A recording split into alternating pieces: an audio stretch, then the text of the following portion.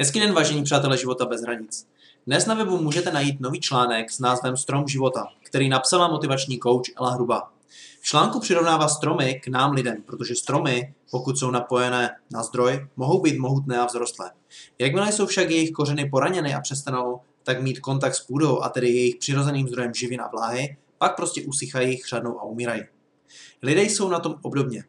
Taky jsme se narodili do rodiny, kterou potřebujeme. Poskytuje nám výživu, abychom mohli růst, vyvíjet se, stát silnými a prosperujícími osobnostmi. Nejsou to jen naši rodiče, ale i naši předci. Jakmile však dospějeme, najednou tento přirozený ochranný prvek, který tvoří naše rodina a předci, jakoby přetneme. A může se stát, že začneme rovněž chřadnout. Jsme zmatení a rozpolcení.